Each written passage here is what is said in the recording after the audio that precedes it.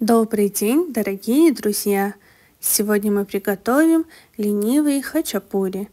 Мне понадобится 200 мл молока, 200 грамм муки, одно яйцо. Хорошо перемешиваем. Затем добавляю немного зелени, у меня укроп и зеленый лук.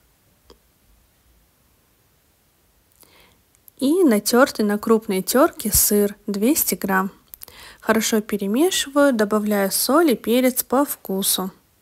Отправляю на разогретое растительное масло, разравниваю и буду обжаривать с двух сторон по 10 минут на среднем огне под закрытой крышкой. Приятного аппетита! Всем пока!